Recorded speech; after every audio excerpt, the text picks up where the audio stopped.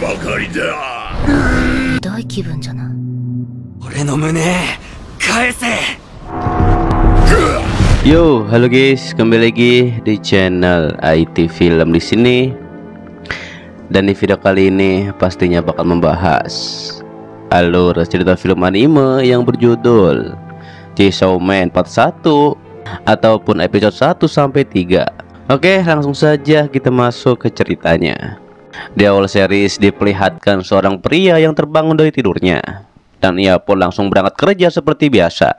Diketahui ia telah menjual ginjal dan mata kanannya dikarenakan ia mempunyai banyak hutang.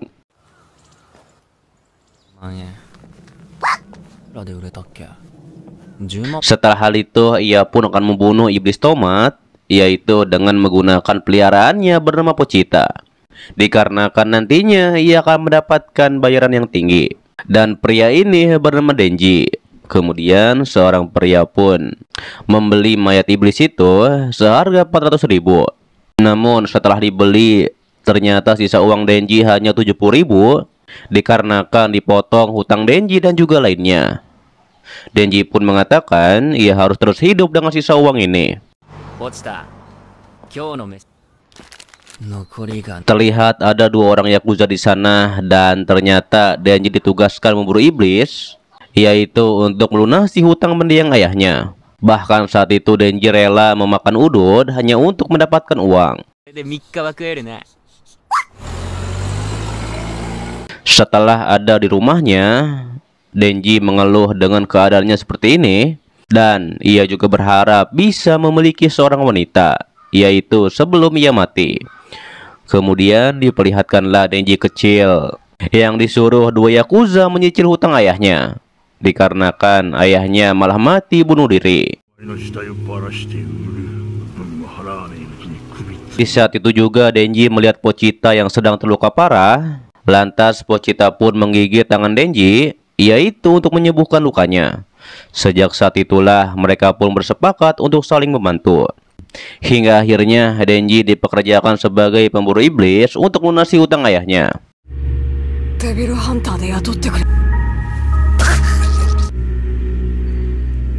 Kemudian setelah hal itu Denji tak bisa tidur dikarenakan memikirkan hutangnya.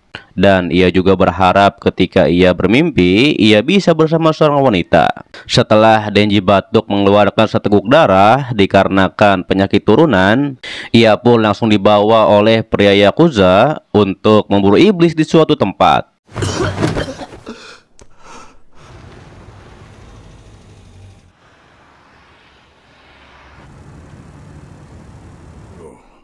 俺たちはてめえにか Tapi ketika di sana Denji pun ditusuk oleh iblis dan ternyata pria Yakuza menginginkan kekuatan iblis. Daripada itu, ia pun akan menghabisi pemburu iblis. Terlihat para iblis zombie di sana akan menghabisi Denji. Lantas dengan sekuat tenaga Denji pun mencoba melarikan diri walaupun ia sedang terluka. 殺すから嫌いだからたちから僕の奴隷になってやがんね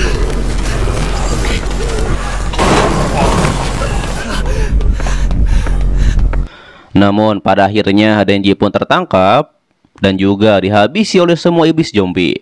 Setelah hal itu terlihat Denji pun ada di tempat sampah dan ia pun akan mati.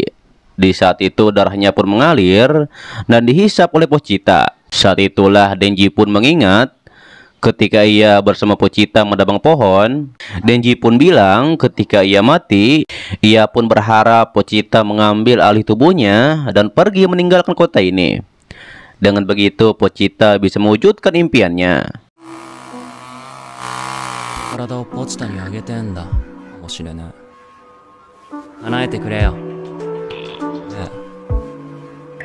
Hingga akhirnya Denji pun hidup kembali. Dan ternyata Pochita memberikan jantungnya pada Denji dan ia pun menyuruh Denji untuk mewujudkan mimpinya. Dan ketika Denji keluar dari tempat sampah, bos iblis zombie pun tak menyangka ternyata Denji masih hidup. Hingga akhirnya ia pun menyuruh para zombie untuk memakan Denji.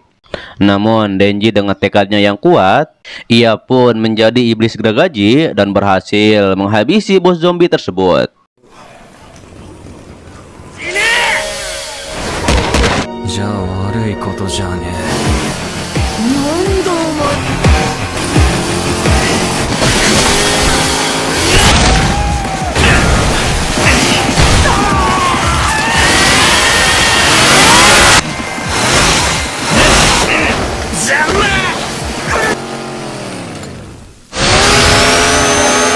Setelah hal itu, para zombie iblis lainnya mengepung Denji. Lantas Denji pun menghabisi mereka semua dikarenakan tugas ia adalah pemburu iblis. Setelah menghabisi mereka semua, ada seorang wanita yang menghampiri Denji. Wanita itu mengetahui bahwa Denji memiliki bau manusia atau iblis. Hingga akhirnya Denji pun tersadar kembali ketika dipeluk oleh wanita itu.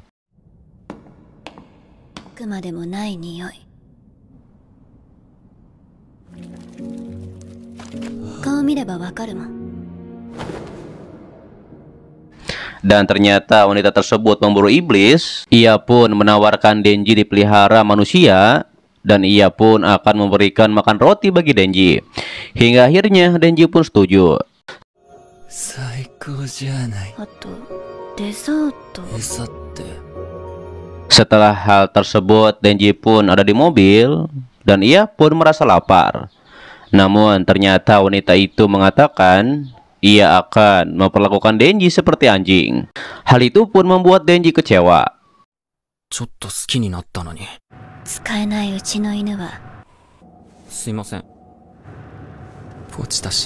Lantas wanita itu memberikan baju pada Denji. Sontak hal itu pun langsung saja membuat Denji menyukai wanita itu. Dikarenakan wanita ini baik kepadanya. Dan setelah mereka ada di rest area untuk makan, Denji pun jatuh di pelukan wanita itu yang bernama Makima. Denji mengatakan jika ia kekurangan darah dikarenakan menjadi manusia geragaji. Denji pun menceritakan bahwa iblis kecilnya memberikan jantungnya. Mendengar itu, Makima bilang ia percaya pada Denji dan sekarang sahabat Denji ada dalam diri Denji.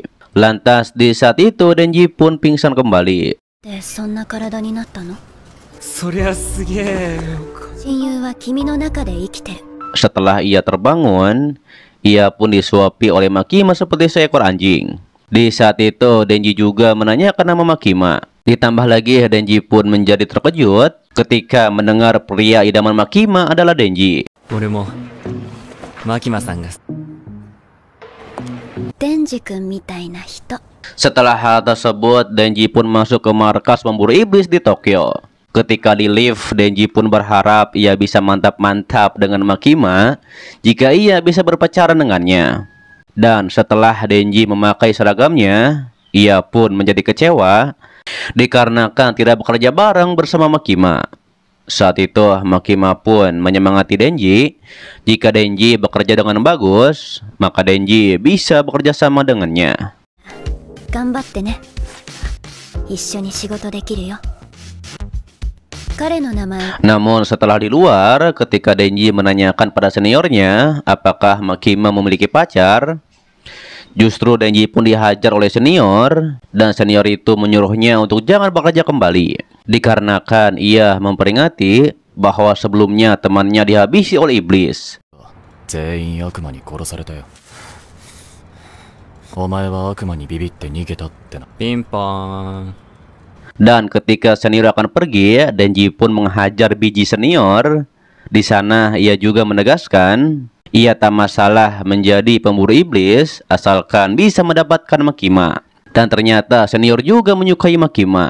俺は軽い気持ちでデビルハンターなった今日初めてうどん食ったぜでもマキマさんが好きなだけじゃね俺だけの命じゃなかった Hingga akhirnya Denji pun menghajar dua biji senior sampai ia terkapar. Setelahnya Denji melapor pada Makima bahwa senior dihajar oleh iblis player. Lantas di saat itu Denji pun akan diuji coba pada tim Hayakawa. Ditambah lagi Denji juga bisa menjadi iblis. Dan jika Denji melanggar peraturan ataupun tidak patuh, maka Denji akan dihabisi sebagai iblis.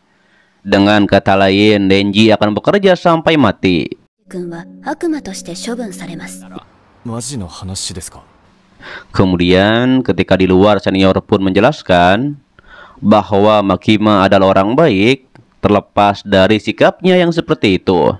Setelah hal tersebut, Denji pun tinggal di rumah senior dengan sesuka hatinya. じゃあいい人なのかい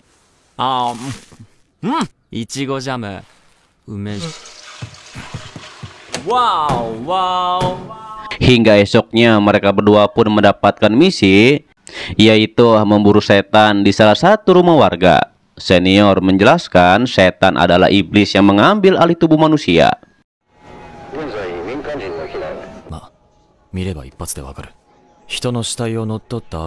Dan setelah Denji menghabisi setan itu, Denji mengatakan ia tidak memakai mode iblisnya dikarenakan tidak mau merasakan sakit seperti setan ini. Hal itu pun membuat senior marah dikarenakan Denji bersimpati pada iblis. Dikarenakan para iblis telah menghabisi seluruh keluarganya. Saat itu Denji pun mengatakan bahkan ia akan menjadikan iblis sebagai temannya dikarenakan ia tidak mempunyai teman.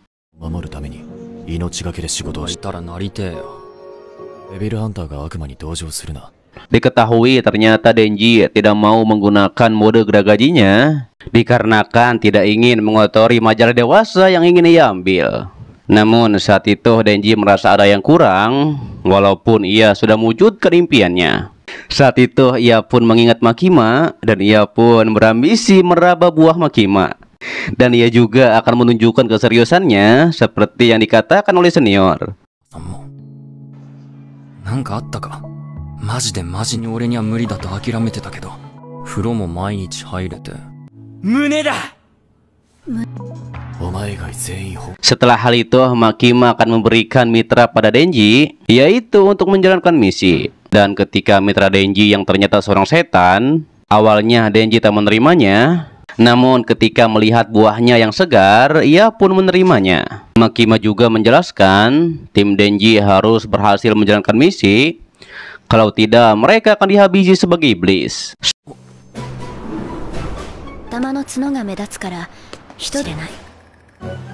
Setelah hal itu, Denji dan Power pun berpatroli dan masuk ke sebuah tempat yang disinyalir terdapat iblis di sana. Namun ternyata di sana tidak ada iblis, hingga akhirnya Denji pun menjadi sangat marah dikarenakan ini pasti ulahnya Hayakawa menyatukannya dengan Power agar ia dipecat dari pemburu iblis. Kemudian Power pun langsung berlari dengan sangat ganas dikarenakan mencium bau darah. Hingga akhirnya ia pun berhasil menghabisi iblis di sana.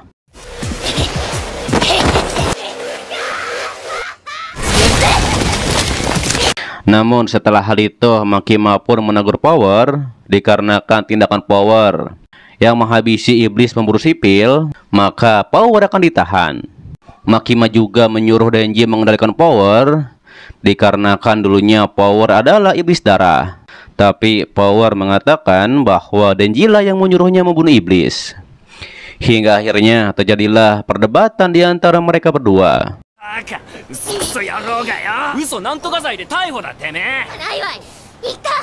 バカ嘘クソ野郎がよ嘘なんとか罪で逮捕だてめえないわいいたこの Namun Makima menyuruh mereka berhenti berdebat dikarenakan sebenarnya Makima hanya ingin melihat kinerja mereka. Setelah hal itu, Denji pun meminum jus kaleng dan ia pun mengatakan untuk saat ini ia tidak memikirkan cara meraba buah power.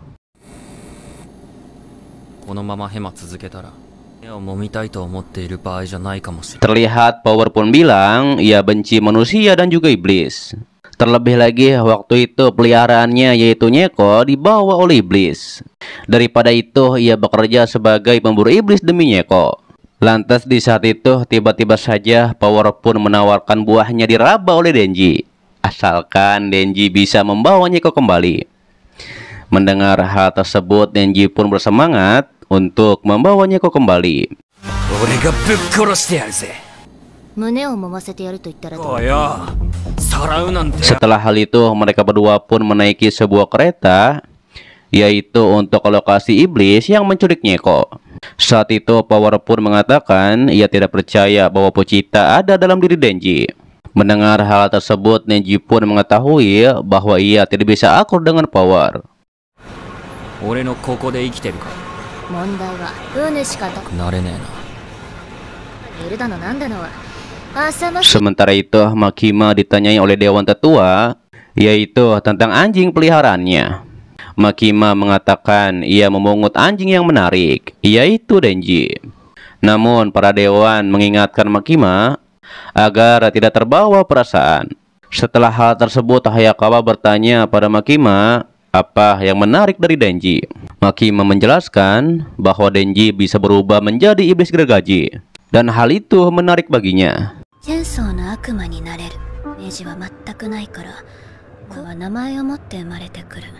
Namun Hayakawa menganggap Denji hanyalah seorang bocah dikarenakan hanya ingin hidup dengan santai. Kembali pada Denji dan Power, saat itu mereka berdua pun menuju sebuah rumah yang di sana terdapat Neko yang dikatakan oleh Power.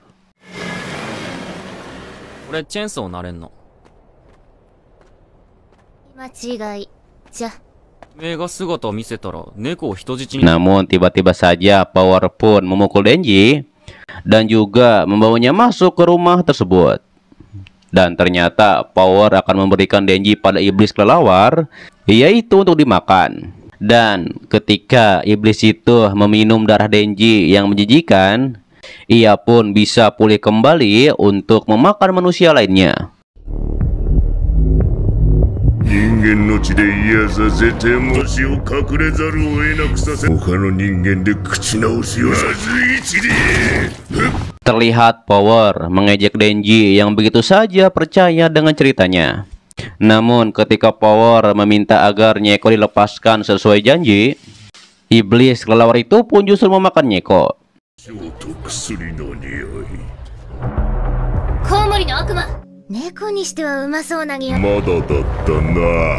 Melihat hal tersebut, Power pun mengingat ketika ia membesarkan Nyeko untuk ia makan. Tapi ketika itu Nyeko diculik oleh kelawar iblis, dan kelawar itu meminta dibawakan manusia untuk memulihkan dirinya.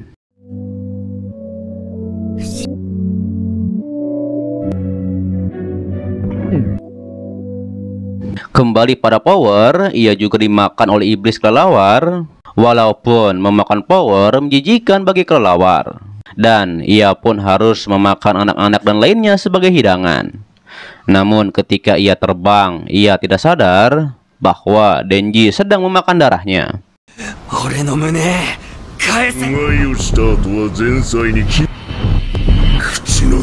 Saat itu Denji pun mengingat bahwa Pochita tidur bersamanya setelah Pochita menunggu ia pulang.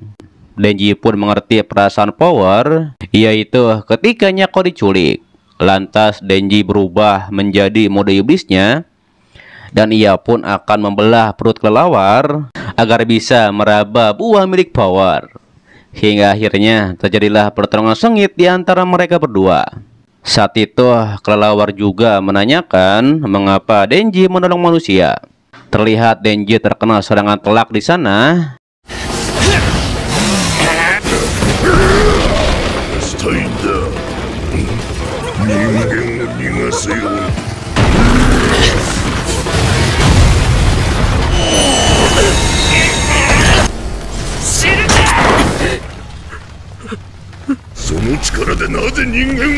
Namun ternyata Denji bisa bangkit kembali dan ia pun berhasil memotong perut iblis kelelawar tersebut.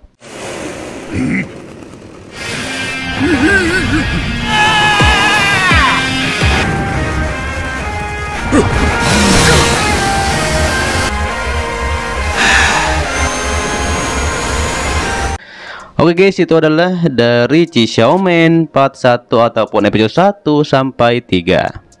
Dan untuk bahas selanjutnya, admin akan update ketika episode barunya sudah tiba ya. Oke, dan terima kasih buat kalian yang menonton sampai detik ini dan selalu mensupport channel admin. Admin juga mendoakan semoga kalian baik-baik saja dan juga sehat-sehat buat keluarga di sana, oke? Pastinya agar tidak ketinggalan setiap notif berikutnya yang belum subscribe silahkan subscribe. Lonceng juga jangan lupa ditekan agar kalian tidak ketinggalan setiap video baru lainnya ya. Oke, dan sampai jumpa kembali di video selanjutnya. See you next time and bye bye.